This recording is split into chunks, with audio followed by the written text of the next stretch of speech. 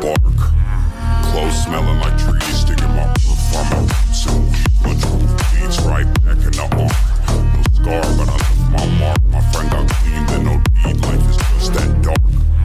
salut pe toți microbiștii, dar și cei ce iubesc senzațiile tari, fotbalul și mașinile.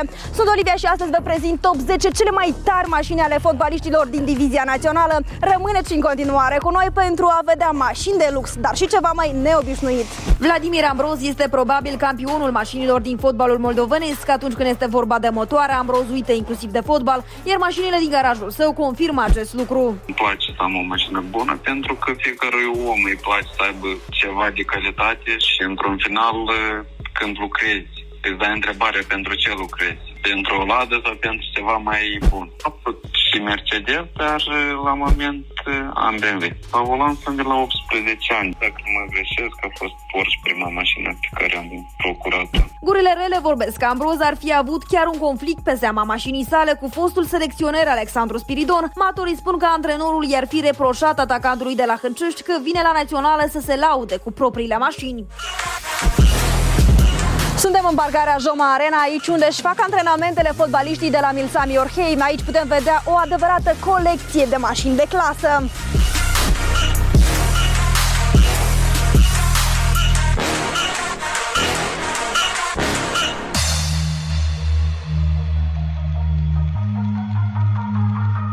Cu ce mașină vii tu la, la job? Cu mașina proprie. Așa, ce marcă este și cât de scumpă a fost pentru tine? Ford Fusion. Nu cum scump. Ok, adică preț ok. Cât ai dat pe aceasta? Eu deja toate secretele pentru fetele care se uită și vreau să mărit cu vreun fotbalist, știm fetele deja și ce mașini au și la ce preț. Mm, Spunem 12.000 jumate. Așa. Banii din fotbal ajung ca să-ți cumperi mașini destul de frumoase. Dacă mai faci ceva pe lângă fotbal, să ajungi. Dar ce faci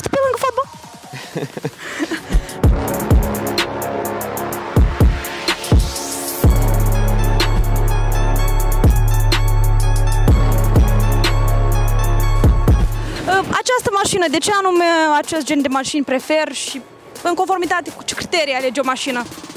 Confortabil să fii, în primul rând.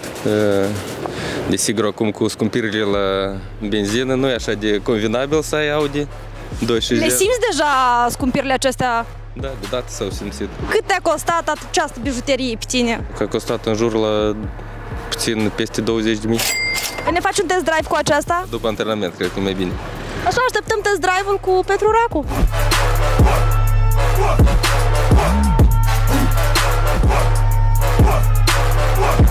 Cereai fetele cu mașini în adolescență?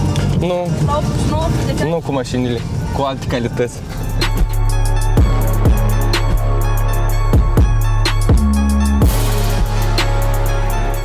Printre jucătorii care ies în evidență la capitolul motoare se numără și Sergiu Istrată, care a reușit să marcheze un gol decisiv în poarta șerifului. Golgheterul Minsami conduce un Mercedes E-Class din 2016, care pe piața valorează aproape 20.000 de euro.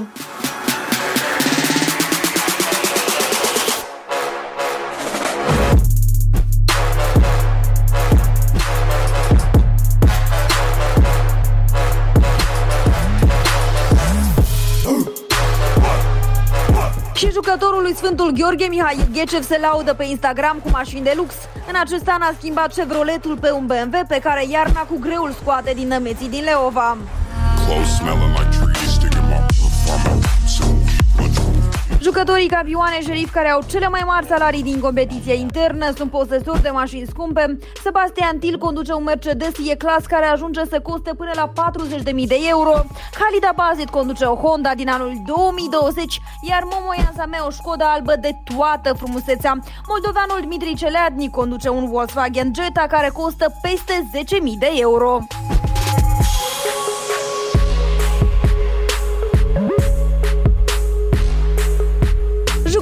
Echipei Zimbru Samuel Zința conduce o mașină de marca BMW Seria 3, la fel ca și antrenorul său Alexandru Carp.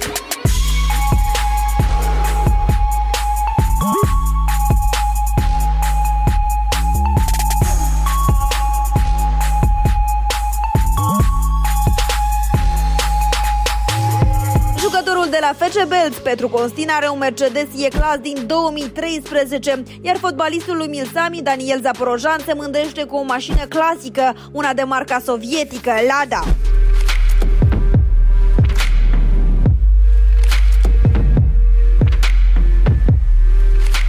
Și jucătorii de la Dinamo Auto, mașini Marin Căruntu stă la volanul unei Toyota Prius. Să urmărim acest duel dintre Căruntu și Timbur. Este 2 la 1, da, într-adevăr. Împreună cu portarul echipei Sfântul Gheorghe, Maxim Răilean, am reușit să facem un test drive cu o mașină legendară Mitsubishi.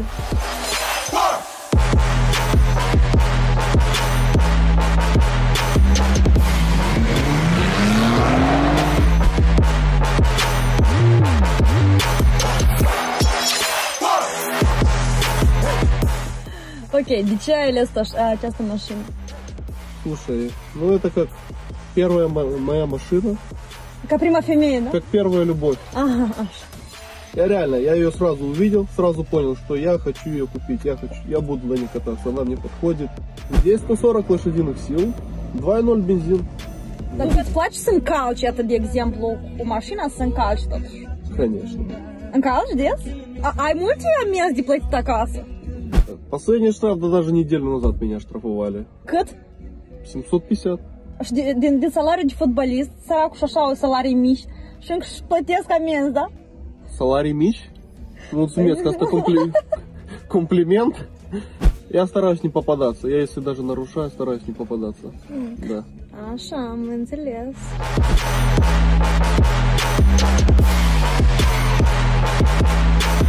Una este clar, fotbaliștilor le plac mașinile scumpe și sunt gata să dea ultimul ban ca să-și vadă visul cu ochii. Sunt Olivia și aștept mesajele voastre pe pagina mea de Facebook. Spuneți-mi acolo ce alte topuri din fotbalul nostru ați dori să vedeți. Pupici!